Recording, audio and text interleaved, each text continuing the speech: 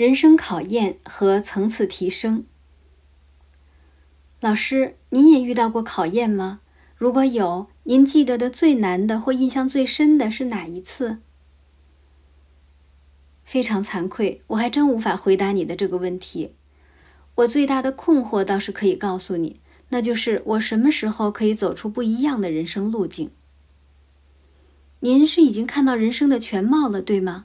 为什么想要不一样呢？不满意，或是不想被限制？我从很小的时候开始，就能清晰地看到与感受到未来在我自己身上将会发生的事情，这导致我心理预期和事前准备工作都很充分。比如高考的试卷，在高三的梦里已经做过两遍了，哪里会出什么错，因此得了多少分一清二楚。当真实考卷到手时，是一字不差。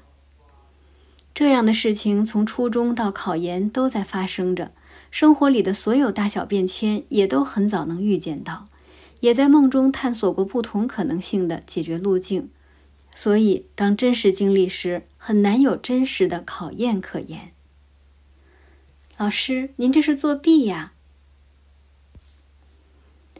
年轻时是感觉很爽。之后只剩下困惑。一部电视剧，即使你再欣赏，会看几遍呢？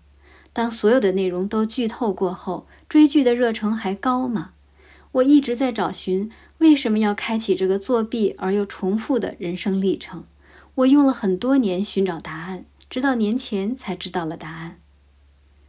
答案是什么？老师，您的身份是菩萨，对吗？我之前的意识认知卡顿在五维时空上，怎么也无法想明白为什么要一遍遍的重来。去年能进入六维时空，才看到原来不是一次次的重复，而是小节点上的多元选择与显化，让我经历了数次片段性的重复。老师，刚才看您这段话，能量共振很强烈。这里涉及到对时间认知的逐步演进。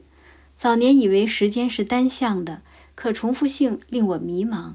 我怎么能知道没有发生的事情呢？当时能想到的只有一个答案：它发生过了。那发生过怎么可能？预知的前提是洞见到已然成就的未被经历的事实。那怎么能预知没有发生过的事情呢？一切都是注定的吗？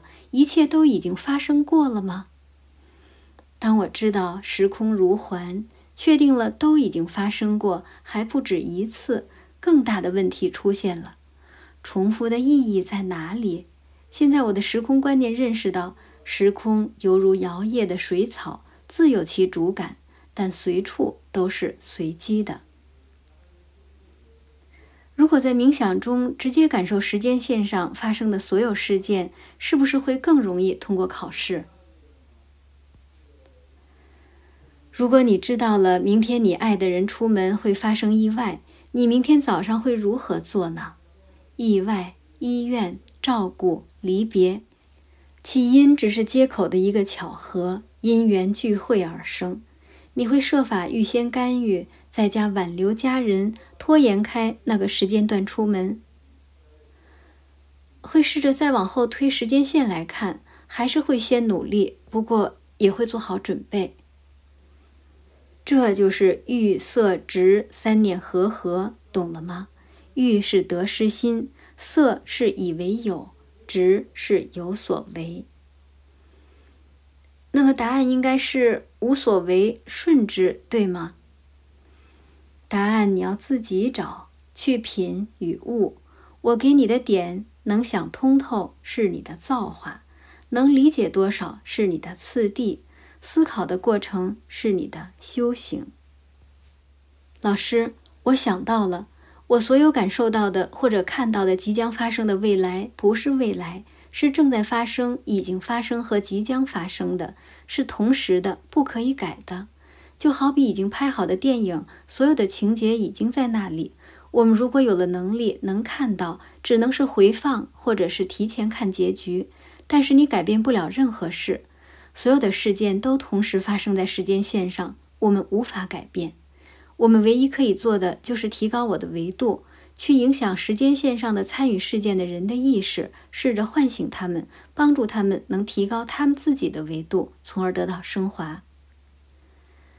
对了，七成，我们可以改变与干预，只是其代价是显著的。比如会有什么样的代价？你所即将经历的所谓后续人生片段，都依据你自身的能量频率来显化，及你的觉知次第而匹配。我想这个觉悟你应该已经有了。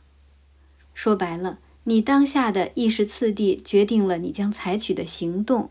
而你的行动造就了你的意识频率，你成为什么层次，你周边的人事物也就相应的显化出怎样的故事性。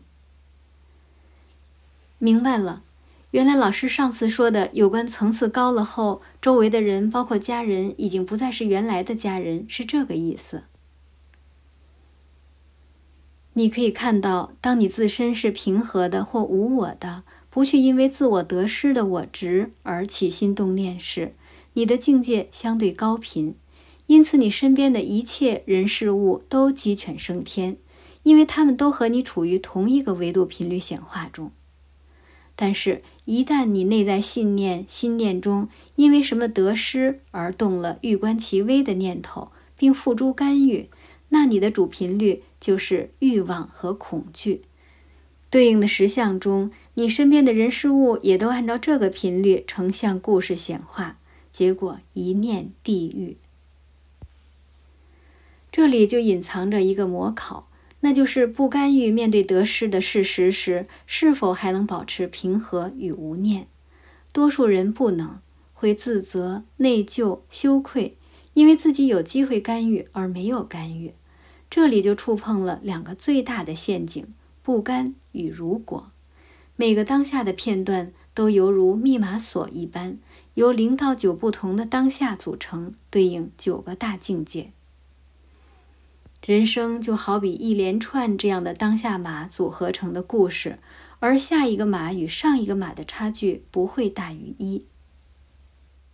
上图右边文字形成的平行故事宿命，不同频率宿命中有不同的故事线。不同的故事线里，其他角色的故事也都不同，但均符合此频率实相的体验水准。当自己进入高频高维后，身边的人物甚至鸡犬也都是高频高维的存在，角色一样。如果你跳跃频率维度后，你所见的家人、同事、世界还是很雷同的那些，但内在的灵魂主体与其人生故事线已经不同了，符合那个维度的宿命。而每个世界中都有一个你，等待着你进入到他的视角里去感受他后续的故事。